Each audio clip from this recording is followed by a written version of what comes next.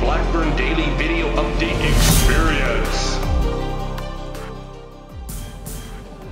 Hey everybody, James Blackburn here coming to you for another daily video update experience. And as promised, I told you I was going to shoot from set today and here it is. It's April 22nd, 2012. It's episode 146 of 366. So today I played a zombie. I think I hear something behind me, but I'm too focused on the camera to find out.